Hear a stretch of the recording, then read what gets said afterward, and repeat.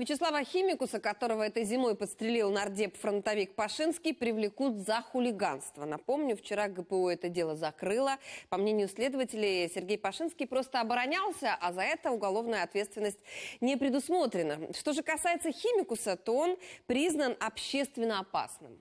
Но один из понятых сегодня сделал неожиданное заявление. Изменит ли оно ход этой истории? Казалось бы, в истории со стрельбой Пашинского ГПУ уже поставила точку. После долгих месяцев следствия там решили, состава преступления нет ни в действиях депутата, ни в действиях пострадавшего. Разве что химикусу могут выписать админпротокол за нецензурную брань.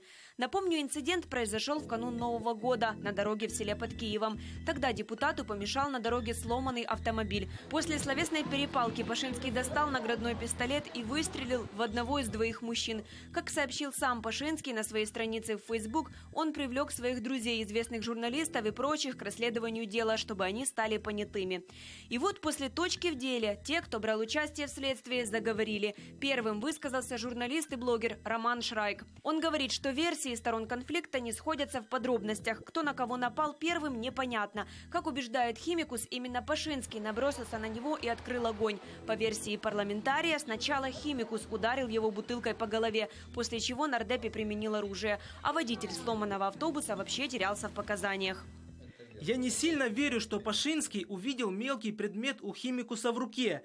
Большой бусик, пусть даже темный, они с женой еле увидели, а мелкий предмет с большего расстояния – да. Поэтому в слова Пашинского я верю через раз. С другой стороны, водитель тоже себя вел странновато. Некоторые вещи он рассказывал уверенно, а отвечая на некоторые вопросы, начинал бэкать, мэкать и мяться.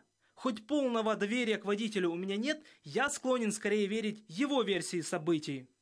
Реальную хронологию скандального дела, по мнению блогера, общество так и не узнает. Непонятно другое. Если самооборона Пашинского оправдана, то почему нет дела на химикуса? Адвокаты последнего решением ГПУ остались недовольны и намерены его обжаловать. В незаангажированность прокуроров они не верят.